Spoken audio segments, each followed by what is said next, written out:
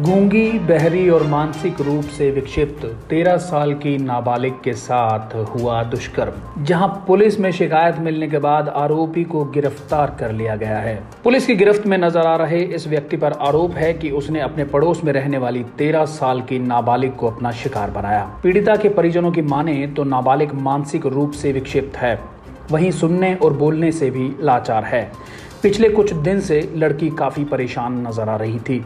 जिसके बाद परिवार ने पूछताछ की तो पता चला कि पड़ोस में रहने वाले एक अधेड़ व्यक्ति ने उससे दुष्कर्म किया है और बुरी तरह से मारा पीटा भी है, जिसके बाद मामला पुलिस तक जा पहुँचा।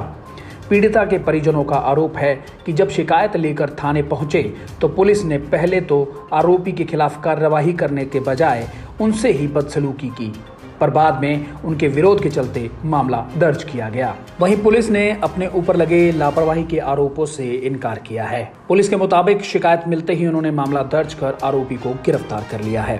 थाना खेड़ी पुल में मुकदमा दर्ज हुआ है। माइनर लड़की है डेफ एंड डम्ब है और मेंटली चैलेंज्ड है।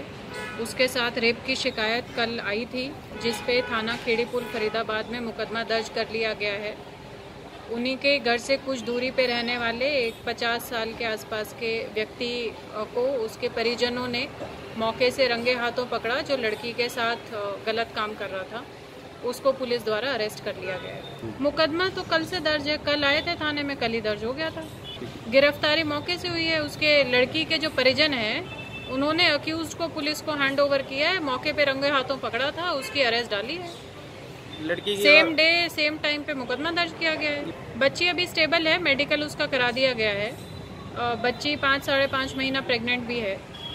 और क्योंकि वो बोल सुन नहीं सकती है और मेंटली चैलेंज्ड भी है इसलिए स्पेशल इंटरप्रेटर का अरेंजमेंट किया जाएगा जिससे कि उससे संवाद कायम किया जा सके और उसकी बात को पूरी तरह समझा जा सके। थोड़ा दिमाग वैसी है और बोल नहीं पाती मैं दिमाग छोड़ के रह गए तो हमने मतलब वैसे नॉर्मल रहती है लेकिन दो चार दिन मम्मी ने नोटिस कराओ सर जो मतलब हाथ पैर पेट पे नोटिस करा था डॉक्टर के पास ले गए चलो तो वहाँ पर पता लगा वो प्रेगनेंट है। तो वहाँ जो गया डॉक्टर ने लिखवाया करवाया तो पता लगा प्रेगनेंट है तो हमने जाँच बेहतर करी। तो हमारे गली में रहता आदमी, ठीक है? उसने उसके साथ ज़बरदस्ती करी, बीड़ी पे आई नशे की, उसके बाद ज़बरदस्ती करी, फिर उसको मारा पीटा। तो कहा पता नहीं। उस दिन के बाद वो उस गली में नहीं गई। ये सारा हुआ जी। सुनवाई तो बिल्कुल नहीं करी थी धमकी दे रहे थे कि आपका केस चल जाएगा, ये हो जाएगा, वो हो जाएगा। फिर हमने फ़ोन करा जब हमारे मकान मालिक उन पर फ़ोन किया। उन्होंने हमारे थोड़ी हेल्प की थी, जब इनकी थोड़ी सुनवाई हुई है।